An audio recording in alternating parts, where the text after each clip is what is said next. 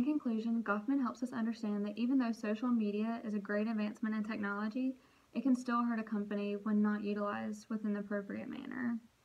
After analyzing the Germanwings crisis, it also made me realize just how important social media is to crisis communication and to companies who are dealing with a crisis.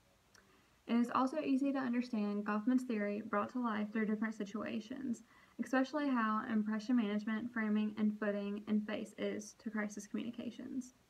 After studying the specific crisis within communication, it makes me wonder how many other airlines have gone through the same situation and how they reacted on their social media accounts and web pages. If you're ever curious, just check it out and let me know because I'm curious how the outcome is.